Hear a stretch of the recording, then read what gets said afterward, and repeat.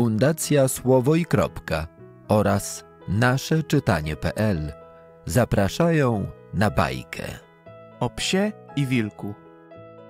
Czyta Klaudia Grygo i Grzegorz Walkowiak. W dużym dworze był wierny Brytan pilnujący całego dobytku.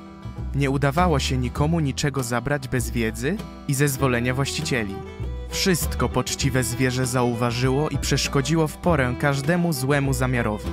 Pies ten nazywał się Budrys. Obawiano się go straszliwie, gdyż zęby miał ostre i siłę ogromną. Karmiono go za gorliwą służbę. Pamiętano o włożeniu świeżej słomy do budy i napojeniu dosyta. Wdzięczne zwierzę w dzień siedziało w swojej budzie, nocą zaś obchodziło pański dobytek i na każdy szmer było czułe. Razu pewnego, obchodząc obory i chlewy, zauważył Budrys coś rudo-szarego, skradającego się ku dworowi. Aha, to pewnie wilk do mnie z wizytą. Żyjemy w zgodzie i nawet się lubimy. Nie zaszkodzi pogawędzić z przyjacielem. Ruff, ruff! Oto jestem! Zaszczekał Budrys. Tejże chwili nadbiegł wilk w podskokach. Jak się masz, bracie? Spytał psa drapieżnik. Świetnie wyglądasz. Utyłeś przez ten czas, odkąd się znamy. Sierść twoja lśniąca i skóra gładka. Powiedz mi, co się tak przyczynia do twojego wyglądu? Ja, jak widzisz, chudy jestem i wiecznie zgłodniały. Sierść moja zwichrzona, wygląd straszliwy. Poradź mi co na to, żebym wyszedł z tego rozpaczliwego stanu. Będę ci za to nieskończenie wdzięczny.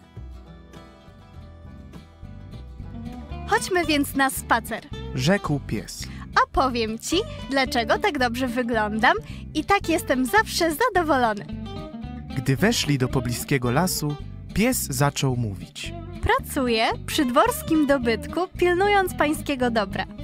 Strzegę domu od złodziei, wypędzam nieraz trzodę ze szkody i różne oddaję przysługi. Za to jestem dobrze karmiony, dostaję codziennie dobrej zupy i doskonałych kości.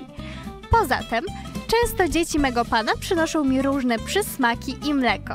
Oto powód mego świetnego wyglądu i położenia. W takim razie Odparł wilk. ja chcę mieć stanowisko stróża domu. Sądzę, że ostre moje zęby i pazury będą dostateczną rękojmią, iż dopilnuję pańskiego dobytku.